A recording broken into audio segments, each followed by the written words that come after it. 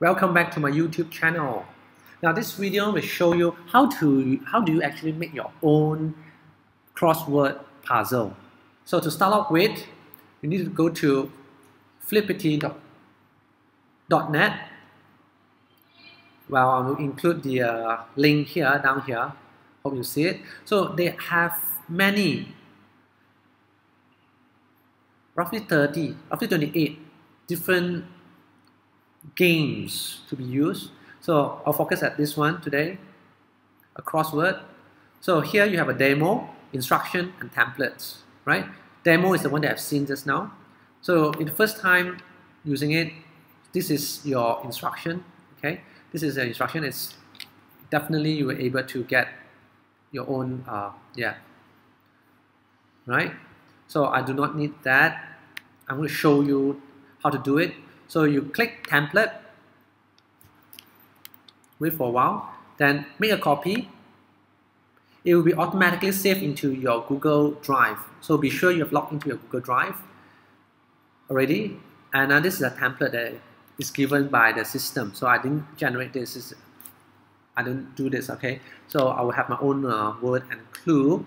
And uh, you may change the word here Okay, it would be nice if you have a list of word and list of clue already. You just copy and paste into here. Delete off to, then file, publish to the web, then go to publish, OK, entire document, and here you go. Right? Then this is what you get.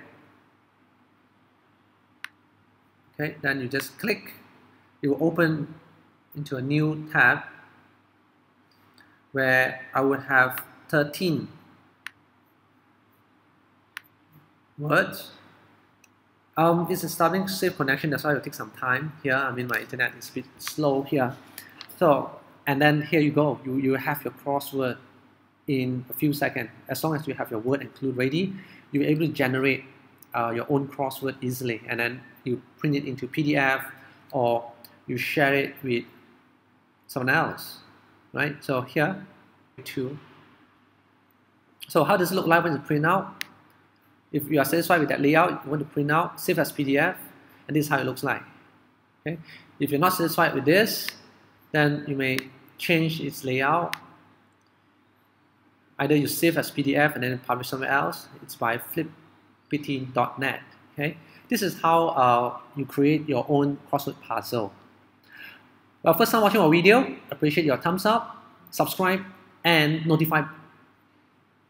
Stay tuned for my next video.